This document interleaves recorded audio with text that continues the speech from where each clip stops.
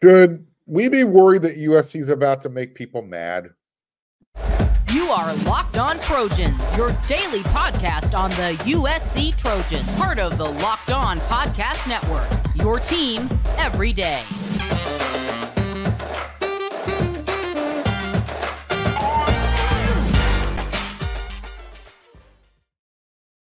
Fight on, everyone. I'm your host, Mark Holkin, and thank you for making Locked On USC part of the Locked On Network, your first listen every day. Whether you're watching this show on YouTube or wherever you want to download your podcast, always remember this show is free and never forget how much I appreciate your support.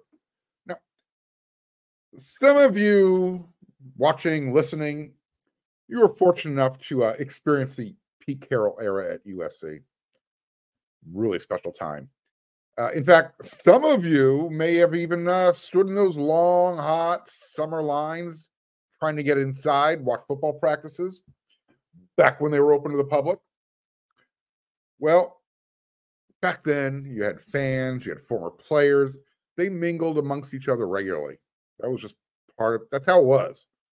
And occasionally a celebrity, they'd kind of trip on through, walk through Goux Gate. Everybody would turn their heads and go, Ooh, look who's here that again, that was just the standard fare. Day to day basis, you never knew who was going to show up at a USC football practice. Well, USC's spring practice number eight, uh, it was a lot like the old days. Former players were hanging out. You had Tahj Washington was out there. Uh, there were more recruits than you could shake a stick at. Uh, I know that's kind of a corny thing to say, but literally, um, there must have been over 100 recruits, close to 100 recruits watching USC's spring practice on Thursday. And when you when you bring that many people in, you need to entertain. So you bring in the stars, right? Of course. You bring in people like, I don't know, rapper Travis Scott, basketball superstar Juju Watkins, the owner, founder of Fanatics uh, Sportswear, Michael Rubin, those are the people who are hanging out at USC's practice on Thursday. Yeah.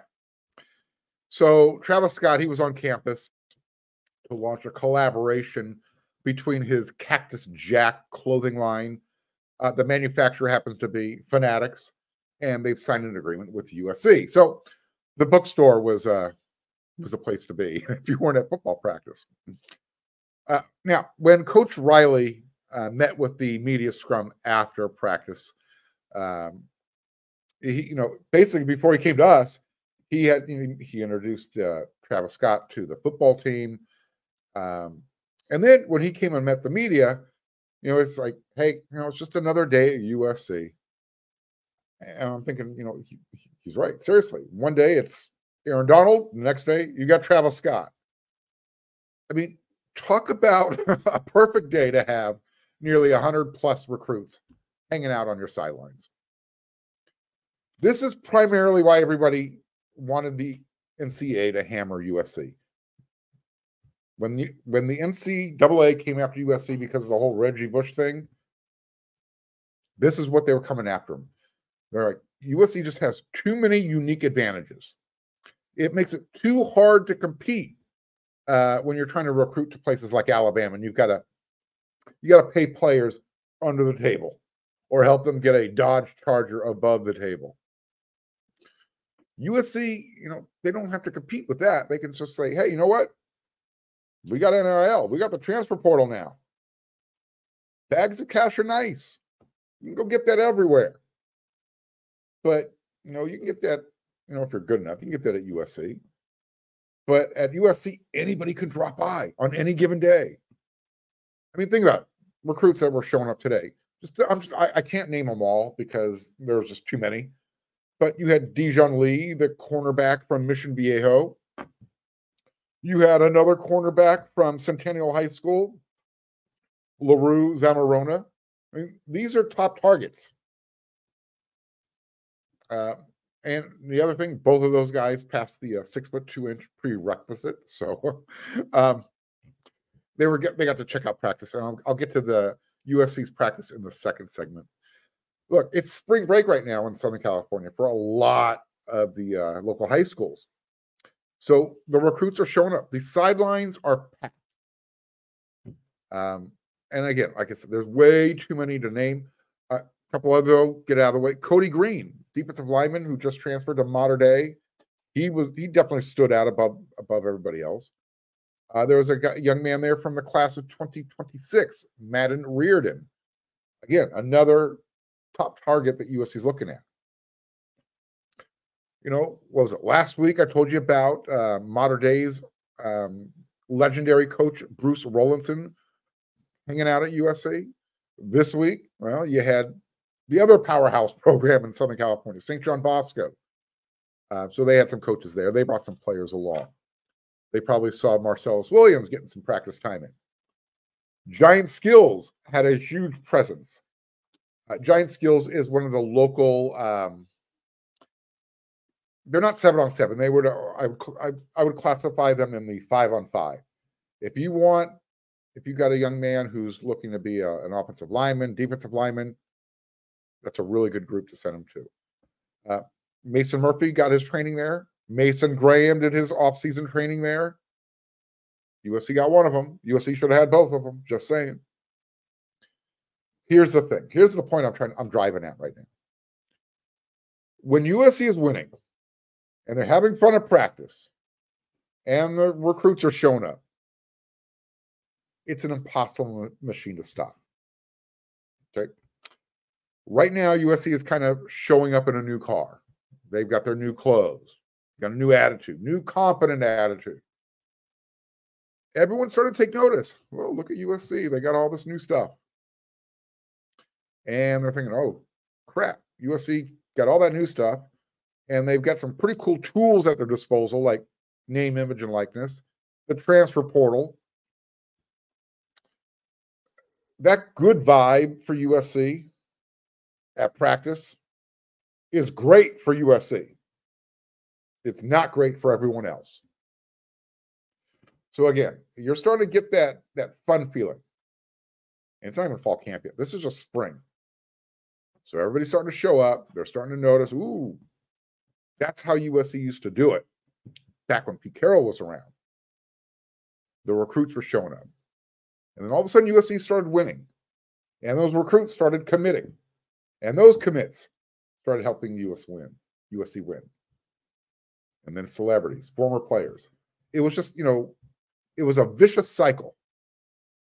It was a vicious cycle for everybody not named USC. It was a great mm. cycle for USC.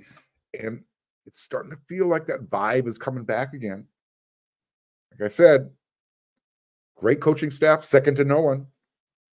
You already see where USC's recruiting class is so far number three in the nation, and there's more coming.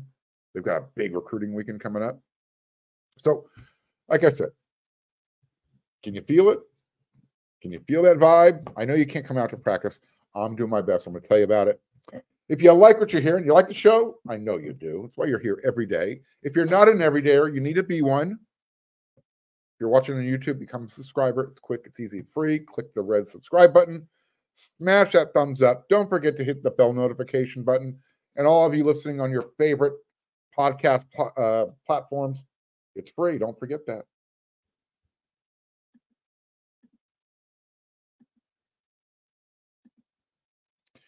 Did you know that even if you have a 401k for retirement, you can still have an IRA? Yeah.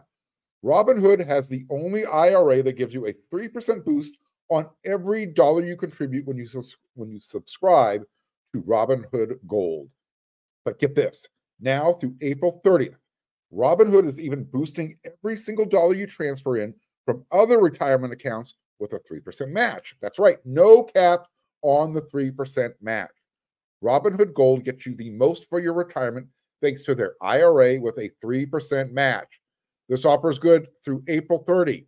Get started at robinhood.com forward slash boost. Subscription fees apply. And now for some legal info. Claim as of Q1 2024 is validated by Radius Global Market Research. Investing involves risk and includes includes loss. Limitations apply to IRAs and 401ks. 3% match requires Robinhood Gold for one year from the date of first 3% match. Must keep Robinhood IRA for five years. The 3% matching on transfers is subject to specific terms and conditions. Robinhood IRA available to U.S. customers in good standing. Robinhood Financial LLC, a member of the SIPC, is a registered broker dealer.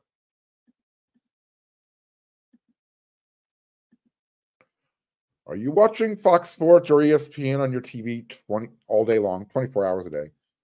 You have to turn the volume down with all the shouting?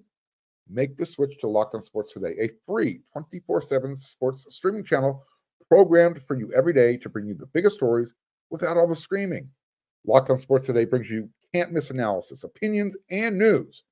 Streaming 24 7 on YouTube or the free Amazon Fire TV channels app, part of the Locked On Podcast Network, your team every day.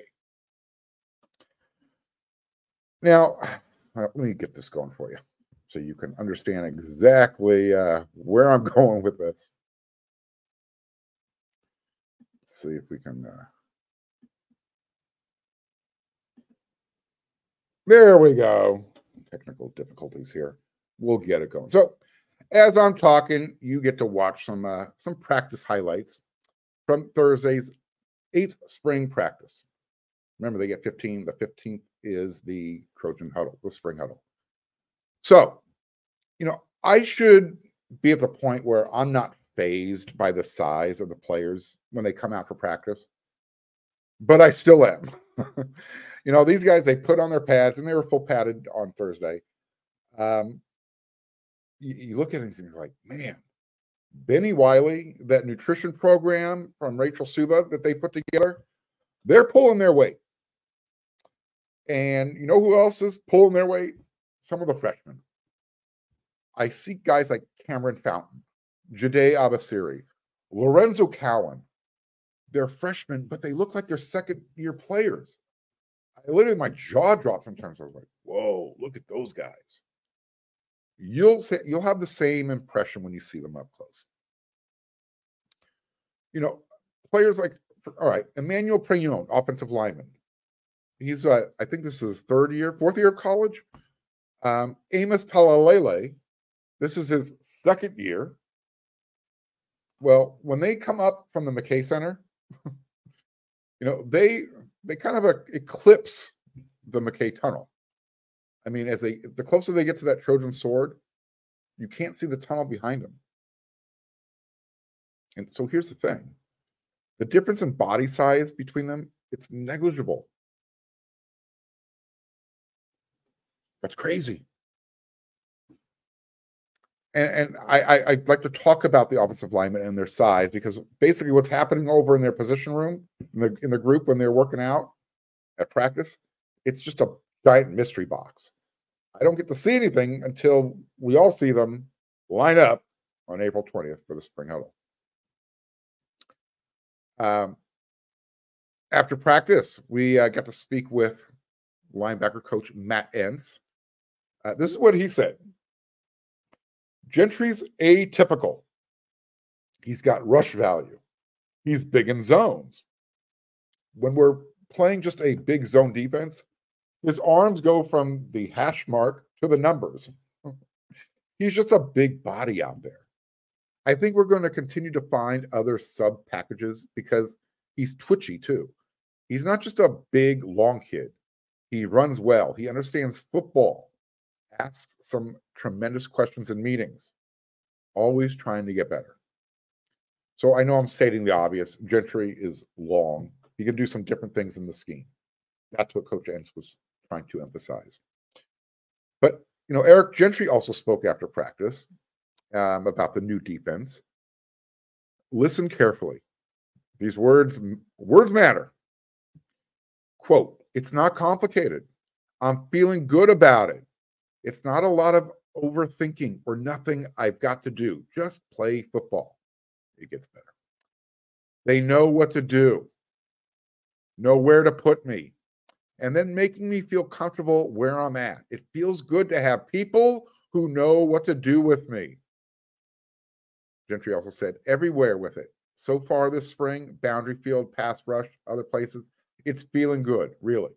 He's talking about they they kind of have them playing all sorts of different roles in the defense right now. But look, I mean, nobody described USC's defense this way these last two seasons. And that last paragraph, wow. that I mean, that just spoke volumes. you know, Thursdays are all about defense. Um, Tuesdays we talk with offensive players, offensive assistant coaches, Lincoln Riley. Sometimes we didn't have him on Tuesday. We spoke with Lincoln Riley on Thursday, along with Matt Entz. So that's why Thursdays we, we typically I focus on the defense mostly. And that's also what the media mostly gets to see. So, you know, it kind of helps. uh, something else that uh, Coach Matt Entz spoke about after practice was his adjustment to being a a position coach, even though he still has that head coach mindset.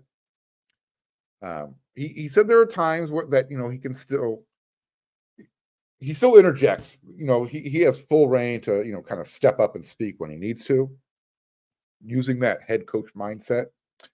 But he also said there's times where he can just kind of stand there, you know, smile on his face, stand back and say, you know what? That's a head coaching issue. I don't have to deal with that anymore. And he smiled about it. And we knew exactly what he was talking about. You know, there are certain things that a position coach deals with.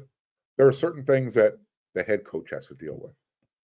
I have a feeling that Coach Entz is enjoying his sabbatical uh, from being the having to deal with some of the head coaching responsibilities. And you know what else I like about Coach Entz? He sounds like a linebacker when he talks. He has the best gravel voice. I mean, he just sounds like a defensive dude. But since Ed Orgeron, Ed Orgeron was roaming USC sidelines, and I, I, like I mentioned, because he has that that um, experience being a head coach, Lincoln Riley and the other coaching staff, guys on the coaching staff, they're not afraid to lean on him and ask him for advice. So, again, big benefit to USC. I, I told you why he came to USC. I just want to remind people who aren't my everyday listeners and viewers. Matt Entz was a national champion head coach at North Dakota State. He wants to be a head coach at the FBS level.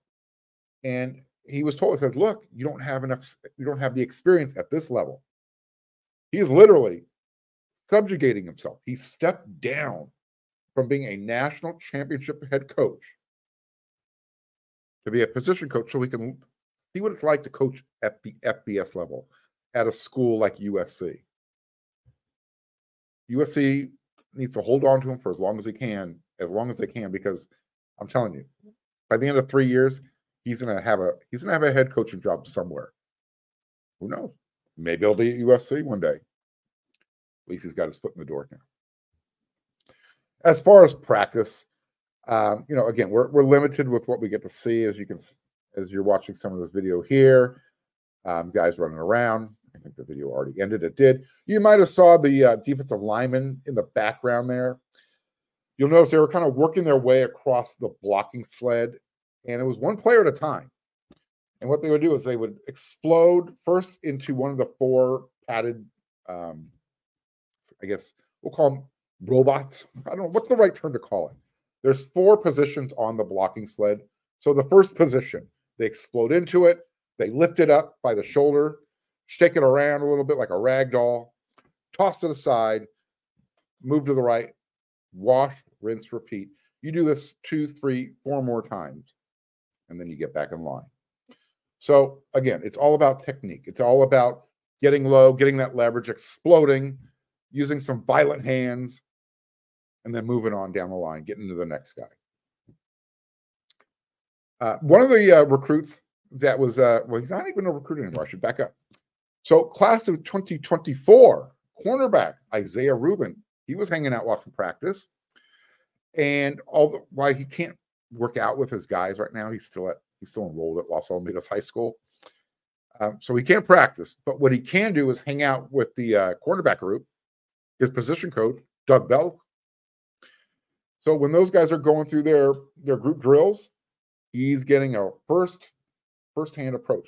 This is what you're going to be doing when you come to USC. So he, along with you know Dijon Lee and Larue Zamorona, um, they got to watch a really physical practice, and perfect timing for them because there was a really heavy emphasis, big time emphasis on form tackling bending at the hips, getting their head to the side, using both arms to wrap up. Doug Belk, Taylor Mays, Dan Lynn, all the eyes were making sure they were doing it the right way. Another drill, I'm not sure, but it it kind of looked like the the cornerbacks were running like a three man weave. Um, and I think what this drill was all about was learning how to flip their hips, turn, face, that type of stuff. Uh, you probably saw it um, in the in the video there. Uh, let me get rid of this real quick so I can. Uh, it's just me talking and you're not staring at dead film. There we go. Uh, defensive coordinator D'Anton Lynn. He's a lefty. Yeah, and he throws a pretty nice deep ball. he was uh he was getting involved with the I, will call it the deep ball drill, and he would basically have the guys start backpedaling, move the ball one direction, have the guys react, and then the second reaction, you had to turn and burn. And Coach Lynn is throwing it deep. You better catch the ball in the end zone. That's all I'm going to say. Especially when your position coach is throwing the ball. I didn't notice anybody drop it. One thing is very clear Lynn's arm strength does not compare to Caleb Williams. I think the furthest uh, Lynn could probably throw it 40 yards okay. He's not quarterback. He's USC's defensive coordinator. As I mentioned, when he's throwing the passes, you better make the catch. I didn't see anybody drop any. I saw a bunch of guys um, doing some toe taps at the back of the end zone, making sure they got both feet in. So they're getting some good NFL practice in and catching the ball with their hands, most importantly. Full uh, crew of referees were also at practice on Thursday. Funny little moment. One of them was trying to get into practice, and uh, I know this doesn't sound right, but it's more of a visual. But the the gatekeeper who lets people in, he's like, um, "Can you prove it that you're one of the referees?" And so all of a sudden, she kind of just slowly starts unzipping her jacket until she shows her referee shirt. It was the way she was unzipping it, and the guy's eyes were kind of like, and my eyes were like, what's going on here? So again, funny little moment. Referees were there helping out the team, getting ready for uh, making sure they're doing things the right way. All right, so there it is. They're done with eight practices. They'll be back again on Saturday. Get some more scrimmage type of environment going. We'll talk to Lincoln Riley, Lincoln Riley via Zoom after practice. We'll find out what's going on. By the way, um, because Coach Entz talked about it, I'll bring it up real quickly. Raesjon Davis. Um, he's the guy's got some really bad luck. He's he's working with the team. He's limited, but he can't do any contact type of stuff. He had hurt one hand, and when he was trying to protect that hand, he went to brace his other. When he was falling to the ground, he used his other hand to brace himself. He hurt his other hand, so he's practicing with two taped up hands. He'll be fine. What is affecting him the most is in the weight room. He, he can't get that upper body strength. So we're all rooting for him, including Coach Entz.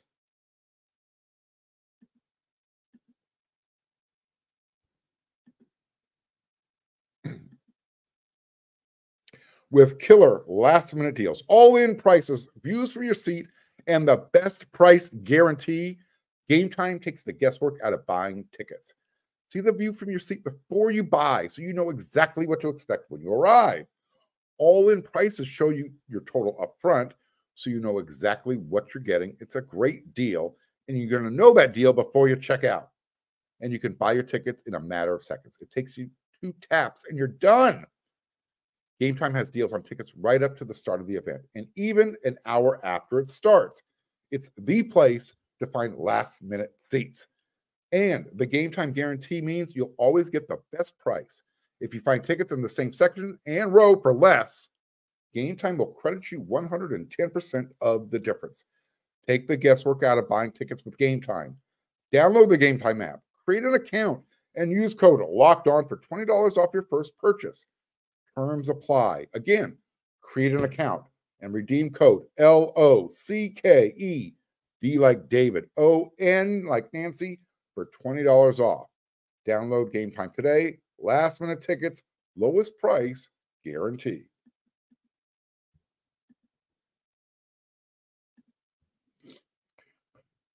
My, my Friday rant is going to take a minute to get warmed up. It's official. Eric Musselman is USC's new men's basketball head coach. Jen Cohen didn't waste much time. She went out and she found someone from a power conference, the SEC, and someone who wants to be USC's basketball coach. This is the statement that um, USC's athletic director, Jen Cohen, released. I am beyond excited to welcome Eric, Danielle, that's his wife, and their incredible family to USC. We were determined to find the best coach to champion the development of our student athletes and elevate our men's basketball program. His track, his track record of building winning programs and his unwavering commitment to a culture of excellence make him the perfect fit for USC. Eric displays heart, boldness, resiliency, and everything that it means to be a Trojan. He inspires togetherness and will help build and grow the program's connectivity within the Trojan community. As we move to the Big Ten and enter a new chapter for USC men's basketball, there is no better fit than Eric Musselman to launch our program to new heights. Sincerely, USC Athletic Director Jen Cohen. Coach Musselman will be introduced to the media Friday morning, 10 a.m. West Coast time. This is what he had to say in, in his prepared statement. My family and I couldn't be more excited for this incredible opportunity at USC. I am grateful to President Folt and Jen Cohen for the chance to lead the men's bas- basketball program at such a world class university with a rich tradition of success. We'll, we will be committed to the development of our student athletes and upholding the values that we make the Trojan family so special. We will hit the ground running and work tirelessly to make our great alumni, fans, and all of Los Angeles proud. Close quote. He's going to need to start building that roster as quickly as possible. I hope he has his running shoes on. Right now, uh, the three commitment class that USC had, they reopened their their uh, their recruitment. I don't know if they're willing to come back. Eric Musselman, he's gonna he's gonna he's got his work cut out for him. Look, if Bronny James does decide to come back, I'm gonna say it again. He needs to be his own guy. Tell dad to stay home. Um, I, I, and I think we'll have an idea soon of what's going to happen with Bronny James specifically. He has a former teammate uh, from Sierra Canyon uh, who was actually committed in Arkansas's 2024 class. Last name is Elohim, really good player, a power forward, small forward, uh, front court player. We're going to see if he wants to, if we're going to see if he did he commit to Eric Musselman or did he commit to Arkansas. I have a feeling he committed to Eric Musselman. Uh, he already got his first transfer uh, he's a center from Massachusetts uh, named Josh Cohen. So we've got our center USC fans. Here's the thing can he get USC's best recruit in the class, Trent Perry, to re engage and come back to USC? They're going to need a point guard. And he also just won the three point shooting contest in the McDonald's All American uh, contest. Same thing applies for Brady Kozlowski, who decommitted. Um, Liam Campbell, he's the other one. Got to get those guys back in the fold. So there it is. The Eric Musselman era. It's underway. Good luck. I'll keep you guys updated with the basketball program. But it's time to get into the ranty part of my Friday ring. USC has their new head basketball coach. And you know what's funny? All of a sudden, all these long lost basketball fans they're crawling out of the woodwork with all their faux excitement. Look, I get that everyone likes new things. Ooh, what's going on? Let me see what's going on over there. But where in the hell were you guys when USC was winning and going to the tournament these last 10 years? I know they haven't won a conference championship, but USC basketball has been winning these last 11 years during uh, Andy Enfield when he was running the program. Where were you? You know, let me know when you start showing up to the games that LeBron isn't scheduled to walk in during the national anthem. You know, he was LeBron was good for an extra 3,000 fans per game. I don't need USC's fan base to be artificially generated. Be there because you want to be there and watch the product, not because you want to see LeBron James walk across the court. I mean, all this enthusiasm on the wearesc.com message board, it, I literally had to lash out a little bit. I was, I was like, you know what? The game threads have been a ghost town. No one goes to the games. And now all of a sudden you're excited? Please. I don't know. Look, USC's in a big boy conference now. I hope the fans show up. Because if they don't, Big Ten conference fans, they'll be filling up the Galen Center. And USC basketball fans who show up to you when USC hosts Arizona, you know what it's like to have a home a home court advantage when Arizona has the home court in LA. We cannot let that type of thing metastasize in the Big Ten Conference. And oh, Kobe Johnson, WTF. Bro, I get it. You jumped in the transfer portal, but UCLA, really? Look, I'm not sure why, but uh, for me, it just hits differently when a basketball player swaps their cardinal and gold for the baby blue. It's more personal. In football, you got what 85, you got an 85 man scholarship roster. Basketball, 12 scholarships, right? It's different. I spoke to someone um, who's attached to the basketball program, very attached to the basketball program. And this person agrees. At some point during the season, season something changed with Kobe. Uh, and it was just, it wasn't just him. It was something with him and was the team. But it confirmed my theory that there was just, it was, there was a fractured locker room this year. Injuries played a, a small role, but there was just too much NIL in the air. Look, I said, if anything interesting happens, I'll keep you updated. But this whole all of a sudden, we're you know, fans are jumping on the basketball bandwagon. Make sure you save this energy. Make sure you're showing up with this energy when the team's ready to play. Because right now, you don't have a roster. You got to you got to name head coach. We'll see what happens from here on out. But I'm getting a little frustrated with USC fans the fake USC fans. One of the last things Andy Enfield said before he left USC's press conference at Galen Center, he, you know, he's like, he was like, we'll, we'll see who the real USC fans are. That was something that bothered him a lot. He's going to enjoy himself at the in the ACC conference, even with SMU. They love basketball in the ACC. So, all right, that's it. Show's over. I'll be back with another episode next week. I'll be back with another five episodes. So until then, everyone, you know what to do.